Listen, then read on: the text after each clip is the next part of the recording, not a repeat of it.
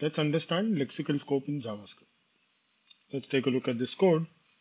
It has a function with a function, an arrow inside. JavaScript has a global or window top level dictionary.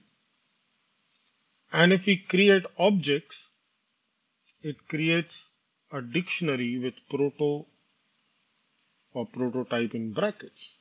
So here is the scope of the outer function. This is known as a constructor function because we are saying new.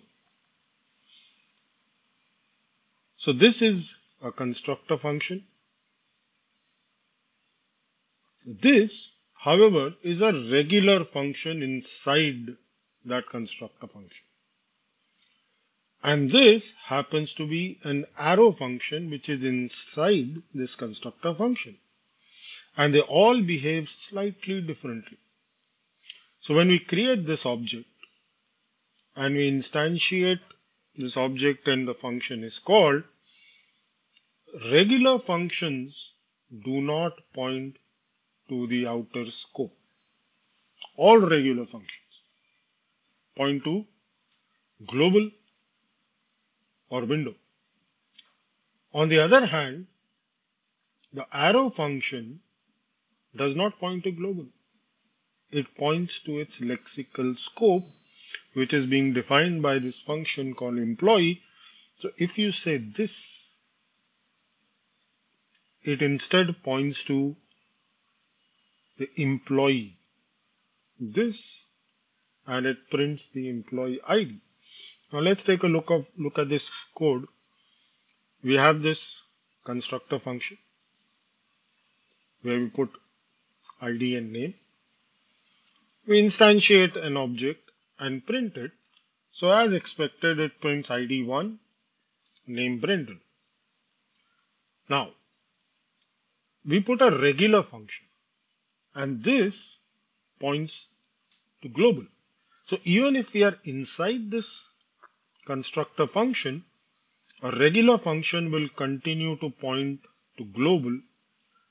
So if we run this, we will see undefined, undefined. The reason, if we were to debug and check,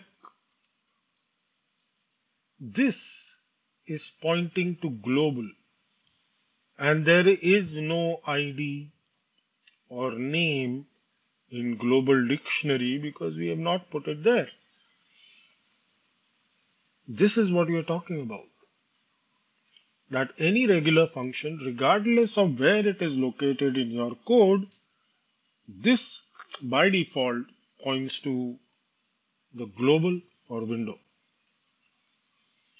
So let's go ahead and compare this with what happens in case of